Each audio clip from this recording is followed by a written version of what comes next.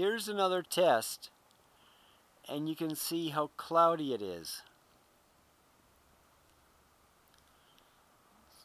Fairly high cloud but totally overcast. Now the ambient temperature of the air with my meat thermometer is 28 degrees Fahrenheit. Now, well, 29 right now. Let's see. Stick that in there.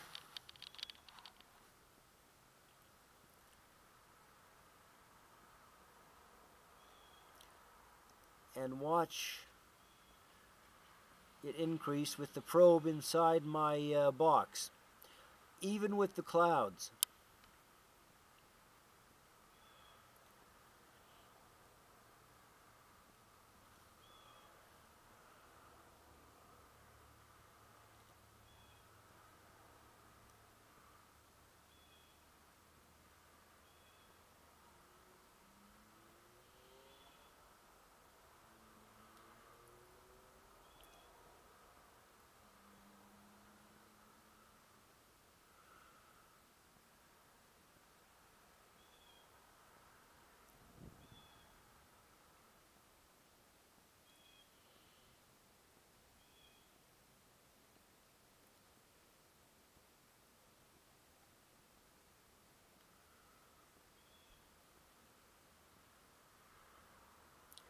So it's staying put at 65 or 66 degrees Fahrenheit.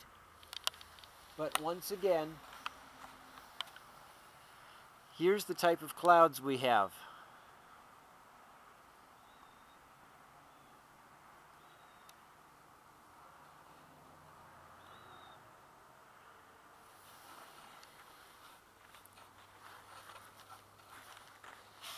And as you can see, on the unit there is no direct sun. And once again the clouds in front where the sun is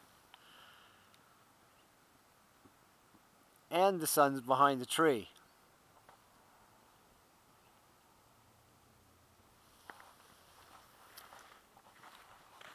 And still the increase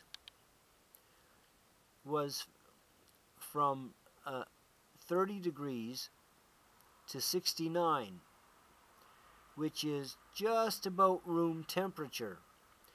So if you have a small house and you're poor, like I will be when I move out, uh, you can basically heat your house even on a cold, overcast day with units much like this.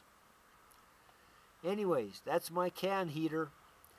I'll do another test when I um, when I get the uh, the little fan on and when I get more sun. Anyways, it's up to 74. So yeah, it uh, it could easily, you know, bring up the the heat of a small room Anyways, see you later.